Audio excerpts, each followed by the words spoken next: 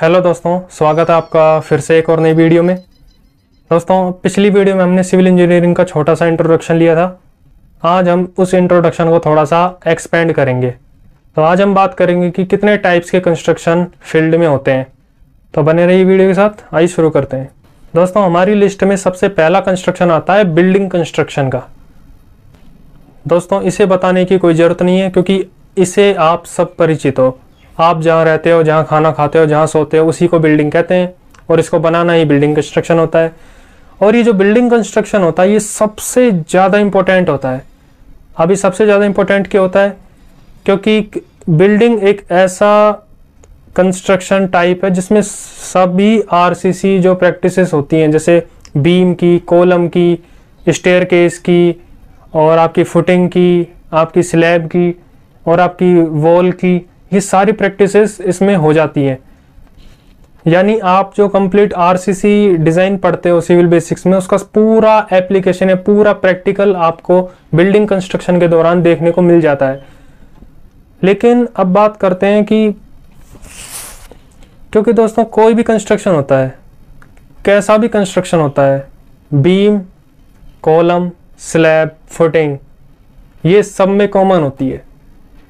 इसलिए मेरा सजेशन यही रहता है, जिस भी स्टूडेंट को कंस्ट्रक्शन लाइन में जाना हो, उसे सबसे पहले बिल्डिंग कंस्ट्रक्शन से स्टार्ट करना चाहिए, क्योंकि वहाँ से उसके सारे बेसिक्स क्लियर हो जाते हैं।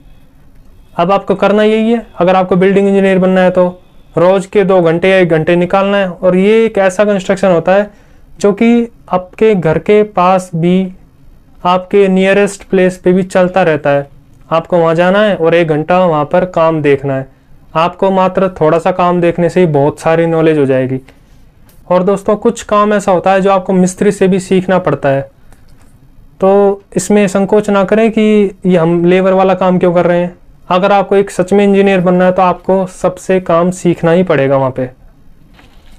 अब दोस्तों, नंबर दो पर जो कंस्ट्रक्शन आता है, उसका नाम है हाईवे कंस्ट्रक्शन हाईवे कंस्ट्रक्शन से भी आप सभी परिचित हो। जिस पर आप चलते हो, जिस पर हैवी व्हीकल्स चलते हैं, उसे रोड कहते हैं, उसी को हाईवे कहते हैं। ये हाईवे भी बहुत सारे टाइप्स के होते हैं, जैसे street highway national highway international highway बहुत सारे हाईवे होते हैं। इन सब का कंस्ट्रक्शन करना भी हाईवे कंस्ट्रक्शन कहलाता है ये भी सिविल इंजीनियरिंग का ही एक टाइप है। और इसे generally P W D C P W D आदि कंस्ट्रक्शन करवाती है। और अगर आप इस लाइन में काम करना चाहते हो तो आपको एक लाइसेंस बनवाना होता है और फिर आप पी डब्ल्यू डी या सी पी डब्ल्यू डी से टेंडर ले सकते हो और फिर आप अपना इस फ़ील्ड में आगे बढ़ सकते हो। अब नंबर तीन पर आता है रेलवे कंस्ट्रक्शन। अब आप सोचोगे, यार, रेलवे में तो मैकेनिकल इंजीनियर जाते हैं, फिर सिविल वालों का क्या काम? तो भैया, माना कि हमें रेलवे का इंजन डिज़ाइन नहीं करने, लेकिन उस इंजन को जिस ट्रैक पर चलाना है, वो तो हमें डिज़ाइन करना होगा कि उस उस ट्रैक पे जो उसकी पटरियाँ होती हैं, कितनी दूरी पर होंगी, उस पटरी के नीचे जो स्लीपर्स होता है, उस, वो सीमेंट से बना होता है, उसको भी हमें चेक करना होता है, उसके नीचे बैलास्ट, यानी पत्थर जो रहते हैं, वो भी डाले होते हैं उसका भी हमें डिज़ाइन करना होता है। और फिर दोस्तों, रेलवे के प्लेटफॉर्म्स कौन बनाएगा? रेलवे की बिल्डिंग्स कौन बनाएगा? सिविल इंजीनियरिंग तो बनाएगा। इसलिए ये भी एक कंस्ट्रक्शन का पार्ट होता है। अब दोस्तों, नंबर चार पर आता है टनल कंस्ट्रक्शन दोस्तों टनल जिसे सुरंग कहते हैं, राजा महाराजाओं के समय से ही बनती आ रही हैं। लेकिन अब इस फ़ील्ड में बहुत सारी रिसर्च हुई है और टेक्निक्स बहुत अच्छी अच्छी आई हैं। बड़ी बड़ी मशीनों से आजकल बहुत जल्दी सुरंगें भी बनाई जा रही हैं। दोस्तों, जो दोस्तों, जो टनल्स होती हैं, वो पहाड़ों को काट के बनाई जाती हैं। क्योंकि अगर हम, अगर बीच में पहाड़ आ जाता है तो उसे पार करने में पूरा दिन लग जाता है। इसलिए उस रास्ते को छोटा करने के लिए टनल बनाई जाती है, ताकि व्यक्ति इजीली एक स्थान से दूसरे स्थान तक पहुँच जाए, अगर बीच में पहाड़ आ जाए तो। टनल कंस्ट्रक्शन जो है, वो एक हैवी कंस्ट्रक्शन की श्रेणी में आता है। अब नंबर पाँच पर जो कंस्ट्रक्शन आता है, उसका नाम है ब्रिज कंस्ट्रक्शन ब्रिज से आप सभी परिचित हो, जिस पर हम लोग चढ़ते हैं, उतरते हैं। यानी ब्रिज वहाँ बनाया जाता है, जहाँ पर या तो रेलवे ट्रैक आ जाता है, या फिर कोई रिवर आ जाती है, या फिर कोई घाटी आ जाती है। वहाँ पर हम ब्रिज को बनाया जाता है ताकि रास्ता इजीली हम पार कर सके। और अगर आज प्रेजेंट टाइम की बात करें तो टेक्नोलॉजी बहुत एडवांस हो चुकी है। वेरियस टाइप्स के ब्रिज आ चुके हैं टेंशन ब्रिज आ चुका है कॉन्क्रीट ब्रिज आ चुका है स्टील ब्रिज भी बनने लगे हैं। दोस्तों, बहुत टेक्निक आगे बढ़ गई है। दोस्तों, अब अगर नंबर छः की बात की जाए तो नंबर छः पर जो कंस्ट्रक्शन आता है, उसे हम कहते हैं ओवर कंस्ट्रक्शन और ओवर कंस्ट्रक्शन बहुत डेंजरस कंस्ट्रक्शन होता है। अब ये डेंजरस क्या होता है? क्योंकि ओवरहेड कंस्ट्रक्शन वर्टिकल कंस्ट्रक्शन की कैटेगरी में आता है। और इसकी हाइट लगभग 70 से 80 फीट होती है। और उस हाइट पर लेबर का काम करना बहुत रिस्की हो जाता है। और फिर इस कंस्ट्रक्शन की स्टेबिलिटी को भी मेंटेन रखना बहुत ज़रूरी होता है। क्योंकि इस पर लेटरल लोड्स विंड्स लोड और अर्थक्वेक लोड दोनों अप्लाई होते हैं और बिल्डिंग की स्टेबिलिटी डाउन भी हो सकती है। इसलिए इस कंडीशन में हमें हाई स्किल्ड इंजीनियर की रिक्वायरमेंट होती है, जो कि इसके डिज़ाइन को चेक करता है और इसे अप्रूवल देता है। अब दोस्तों बात करते हैं, ये ओवरहेड होता क्या है? तो दोस्तों, आप अपने आसपास जो पानी की ऊँची ऊँची टंकियाँ जो देखते हो, जहाँ से पानी सप्लाई होता है, उसी को ही हम ओवरहेड कहते हैं। दोस्तों, अब नंबर सात पर आता है। Dam construction. दोस्तों, डैम इतना हैवी कंस्ट्रक्शन होता है, इतना बड़ा कंस्ट्रक्शन होता है। आप ये समझो, अगर डैम का प्रस्ताव आ जाता है तो एक पल के लिए कम से कम बहुत हेक्टेयर्स में भूमि साफ़ कर दी जाती है। वहाँ के लोगों को विस्थापित किया जाता है। क्योंकि डैम इतना मेगा मैसिव कंस्ट्रक्शन होता है, उसके लिए बहुत ज़्यादा जगह की रिक्वायरमेंट पड़ती है। क्योंकि जो डैम होता है, वो अपने एक तरफ़ पानी को रोके रखता है। यानी कह सकते हैं डैम एक तरह से पानी को रिटेन करके रखता है, ताकि जहाँ पर जो एरियाज़ हैं, जहाँ पे जैसे जैसलमेर, बाड़मेर, बीकानेर, या फिर जैसे राजस्थान में, रेगिस्तानी जो एरिया वहाँ पे पानी की प्रॉब्लम्स होती हैं। तो डैम के द्वारा पानी को रोक के, उसे कैनाल के द्वारा फिर वहाँ पर भेजा जाता है। अब नंबर आठ पर आता है हाई राइज बिल्डिंग दोस्तों हाई राइज बिल्डिंग का कंस्ट्रक्शन आजकल कॉमन हो चुका है। क्योंकि आज के टाइम में हॉरिजेंटल जो कंस्ट्रक्शन है, जगह इतनी बची नहीं, इसलिए आज हम वर्टिकली मूव होते जा रहे हैं। और ये कंस्ट्रक्शन इतना इम्पोर्टेंट है, क्योंकि ये आजकल सत्तर माले से भी ऊपर की बिल्डिंग्स का कंस्ट्रक्शन नॉर्मल जगहों पे देखने को मिल जाता है। और दुबई जैसे शहर की बात की जाए न्यूयॉर्क शहर की बात की जाए, जो कि अमेरिका में स्थित है, वहाँ पर तो हाई राइज बिल्डिंग्स बहुत सारी हैं। वहाँ पर तो रोज़ एक हाई राइज बिल्डिंग का कंस्ट्रक्शन का प्लान चलता रहता है। इस फ़ील्ड में आज बहुत तरक्की हो चुकी है दोस्तों। नई नई टेक्निक्स आ चुकी हैं कि किस तरह से हाई राइज बिल्डिंग को बनाया जाए, किस तरह से उसको स्ट्रक्चर को रेडी किया जाए, ये सब आपको ही करना है। दोस्तों, अब अगला कंस्ट्रक्शन आता है कैनाल कंस्ट्रक्शन जिसे हम नहर भी कहते हैं। नहर का उपयोग इसलिए किया जाता है ताकि पानी को एक स्थान से दूसरे स्थान तक ले जाया जा सके।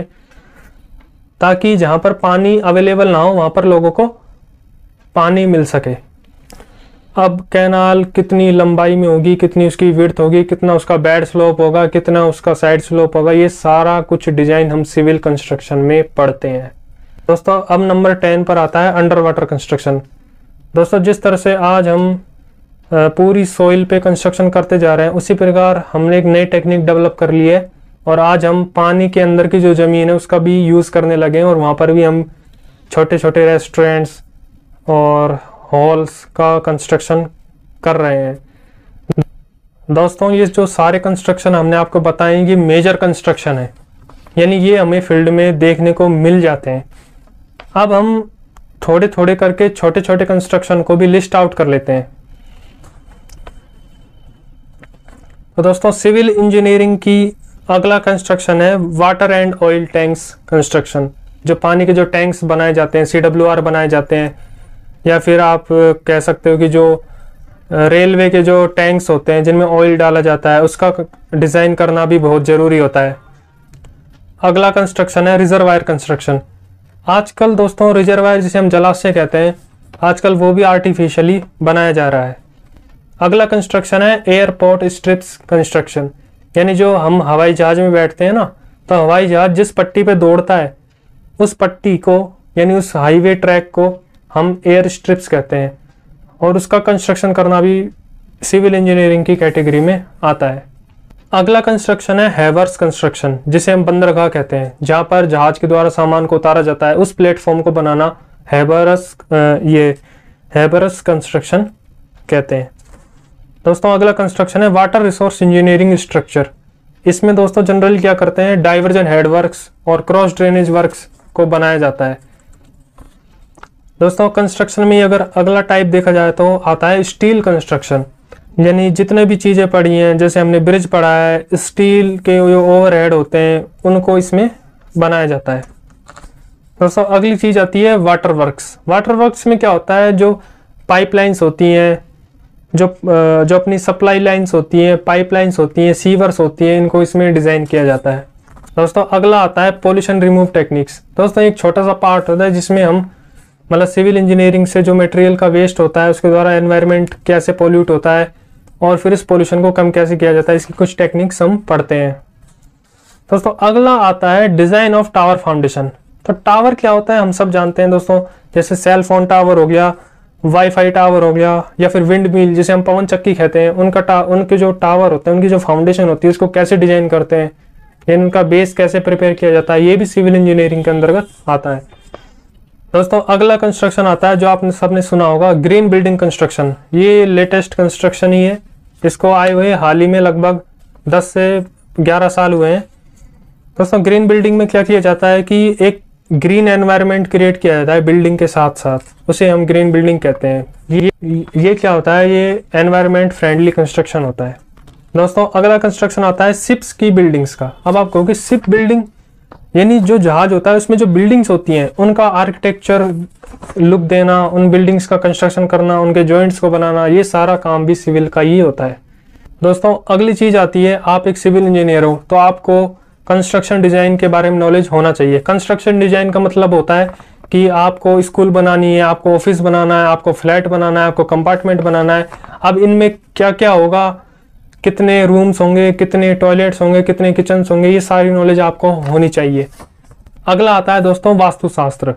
दोस्तों वास्तुशास्त्र के बारे में भी आपको नॉलेज होनी चाहिए कि किस दिशा में घर हो, किस दिशा में हमारा कमरा हो, किस दिशा में हमारा मंदिर हो, किस दिशा में हमारा लेटरिन हो, किस दिशा में हमारा किचन हो। इसकी नॉलेज भी एक सिविल इंजीनियरिंग को या सिविल इंजीनियर को होनी चाहिए। दोस्तों अगला आता है basic architecture knowledge basic architecture knowledge हर सिविल इंजीनियरिंग को होनी चाहिए। दोस्तों अगला कंस्ट्रक्शन आता है different types of hall construction hall क्या होता है? एक ऐसा खुला एरिया होता है जिसके ऊपर छत डली होती है। उस हॉल का कंस्ट्रक्शन कैसे किया जाता है? बहुत सारे टाइप्स के हॉल होते हैं। कांच के भी हॉल आ गए हैं। आजकल कंक्रीट के भी हॉल होते हैं। स्टील के भी हॉल्स होते हैं। इन सब का कंस्ट्रक्शन करना भी सिविल इंजीनियर का ही काम होता है।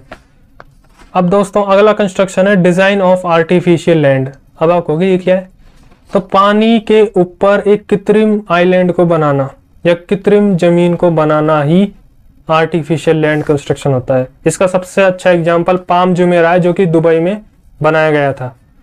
दोस्तों, अगला कंस्ट्रक्शन है construction of hilly areas hilly areas में हम कैसे बिल्डिंग्स को फ्लैट्स को कंस्ट्रक्शन में करते हैं, उसके कुछ टेक्निक्स होते हैं जिन्हें हम इसमें पढ़ते हैं।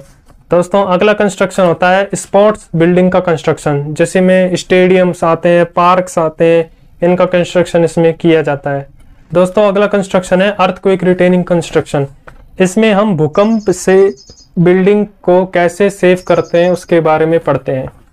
और दोस्तों, अगला आता है प्लम्बिंग वर्क प्लम्बिंग वर्क वही होता है जो हम मकानों में जो पाइपलाइंस डालते हैं, नल की जो पाइप्स होते हैं लेटरिन के पाइप्स होते हैं किचन के पाइप्स होते हैं सीवर के पाइप्स होते हैं, हमारे घर से जो बाहर जाते हैं, वो पाइप्स होते हैं।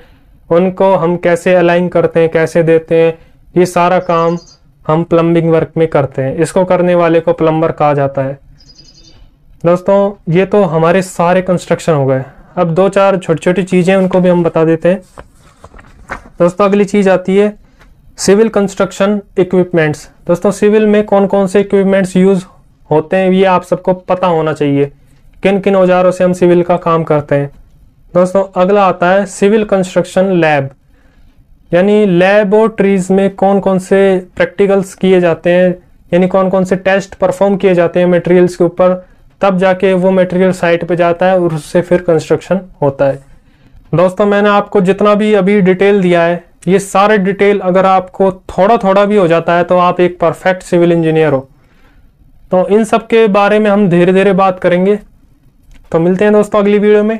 अगली वीडियो में हम आपको बताएँगे कि पढ़ना कैसे होता है सिविल इंजीनियरिंग को। अगर आपको एक सिविल इंजीनियर बनना है, इंजीनियर बनना है तो किस तरह, किस प्रोसेस से हमें चलना चाहिए ताकि हम एक स्किल्ड इंजीनियर बन सके। तो मिलते हैं अगली वीडियो में।